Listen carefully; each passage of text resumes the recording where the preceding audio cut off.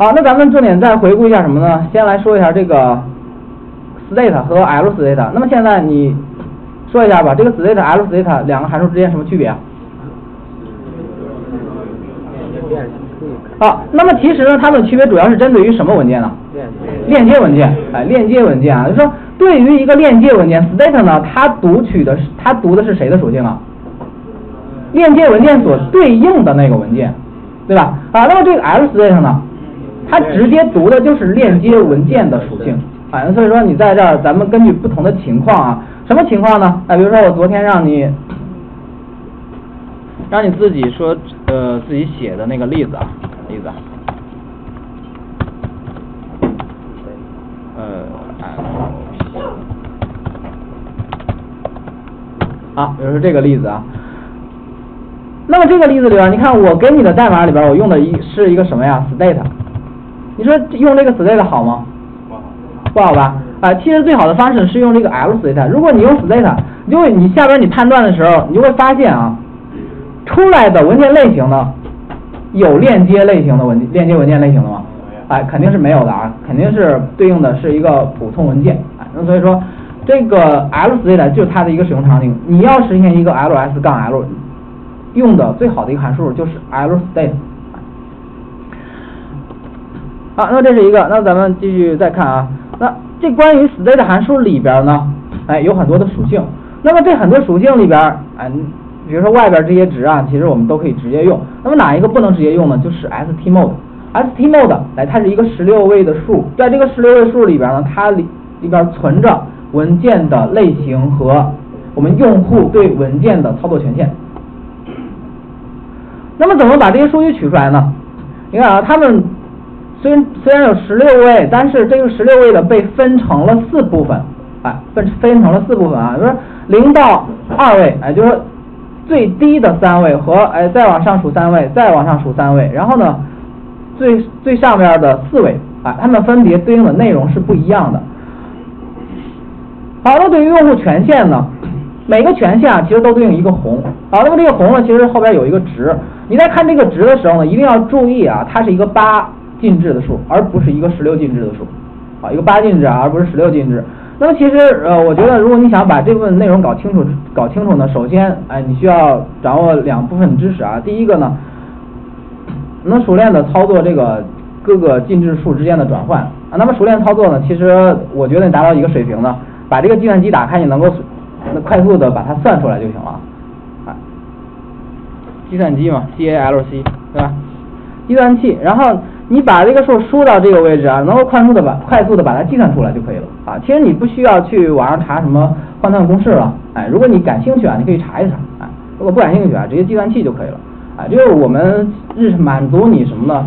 日常的一个需求啊。其实你这玩意儿换算的多了，你自然你就能记住一部分啊。好，那么这是一个，再再有呢，比较重要的啊。你得熟悉咱们 C 语言里边的位运算，然后位运算，哎呦，这安慰什么呀？安慰语，是啊，安慰户，还有一个呢，是不是还有一个这样的东西啊？啊，是不是还有易货呀？对不对？啊，那么其实我再我再跟你说一下啊，这个安慰语什么时候用呢？一般的时候，如果涉及到了安慰与操作的话呢，都是我们的主要目的啊，是把某些位清零。安慰与操作就是把某些位清零。你看一下啊，咱们这个权限一般呢，你都是 stmode 语上这个权限，语上这个权限，语上这个权限，对吧？那么把某些位清零，那么它是把哪一位清零呢？你看啊，这个四它就是一百，四百就是说把除第三位以外的位全部清零，然后呢？用这个第三位的一和这个 stmode 里边第三位呢去做一个安慰语操作。那么如果说它里边呢有读权限，那么肯定是一，那我们得出来的最终的这个数呢肯定是大于零的。那么假设说你这个数啊，它里边等于零，那么我们得出来的数肯定值肯定为零吧？这是安慰语操作。所以说你在判断有没有这个权限的时候，你判断它是不是大于零。如果大于零，说明这个权限有；如如果没有。哎，你这与完了之后呢，肯定是，肯定肯定是等于零的啊。好，那这是安维语操作，你就记住啊，一般的我们都用它操作都是给某些位做清零操作，对某些位啊做清零操作。那么这个安维或呢？安维或它一般什么呢？就是某些位啊，它原来是零，那么我们想把这一位呢置为一，原来这个标志位啊是零，那么我们想把这个标志位置为一，那你怎么办呢？就按用这个安维或操作啊，用这个安维或操作啊。好，那么这个玩意儿呢，安维异或呢？啊，我给你告诉你啊，这个安维异或什么时候用呢？一般的时候，咱们在给某些数据加密的时候用这个安维异或。啊，你说，你说你比如说你在你想用做一个呃小的加密的功能，比如说我有我有一个小的数据啊，比如说我有一个一百，对吧？哎，或者说我有一个字符串，那么这个字符串我在传输的时候呢，我就想简单的做一个加密，好，你怎么加密呢？哎，你给这个一百呢做一个安维异或，啊，然后呢传出去。然后你接到这个数据之后，你给给这个收到的数据再安维异或一次，是不是这个数据就回来了？是吧？哎，这是一个加密啊，就是说它的一个使用场景，其实有可能你之前学过啊，你也不知道它的使用场景是什么啊。就是我，反正我之之前在写程序的时候，也就是做了这样的操作，就是比较简单的加密啊，也不能说咱们特别特别高大上的一个一个项目啊，它加密就是用了它做了一个加密啊，这个很容易被破解了就。那所以说。你就如果是简单的想加密一次啊，那你就可以用这个安慰 if 啊去做一下。好，那这是关于咱们 STMode 里边的一些知识点啊。那么这个知识点里边，其实呃，其实来看一下咱们那个例子吧。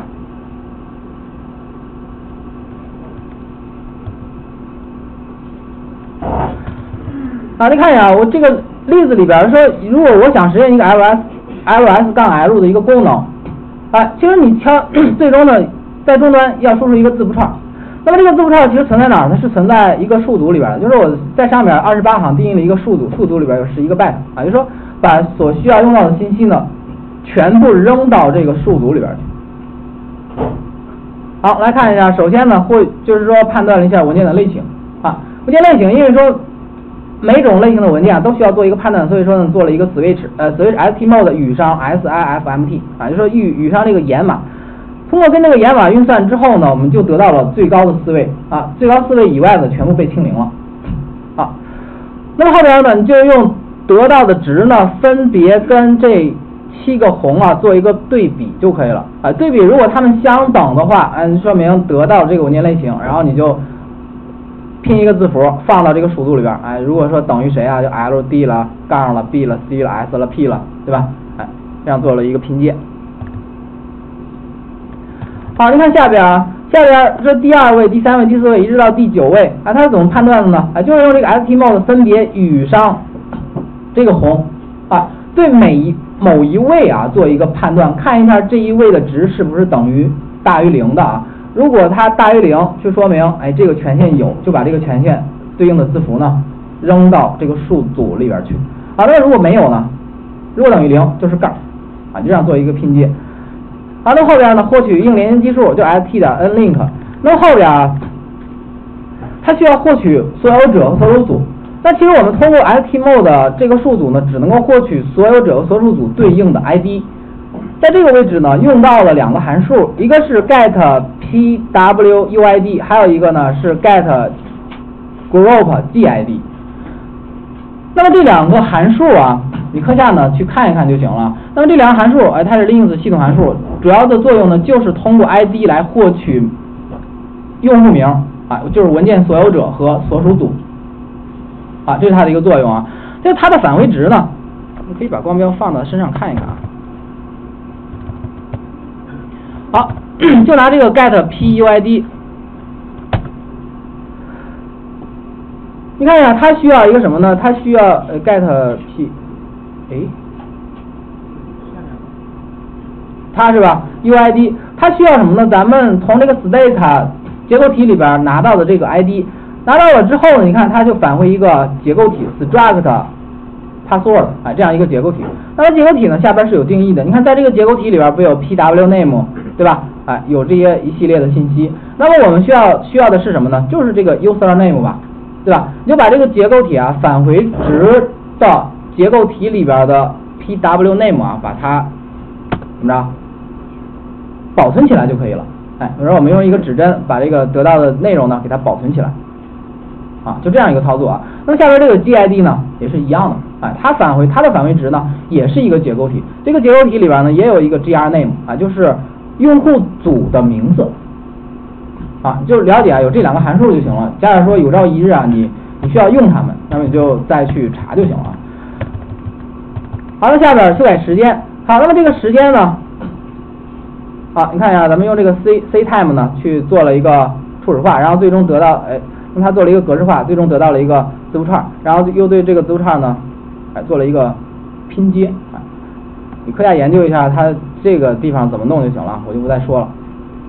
啊，就是所有的是所有的内容都准备好了之后呢，最终哎把它拼到一个 buffer 里边，通过这个 sprintf 把它拼起来，拼起来之后，你在 ls 杠 l 就能得到跟我们敲 shell 命令啊。一样的一个数据了，啊，就是你通过什么呢？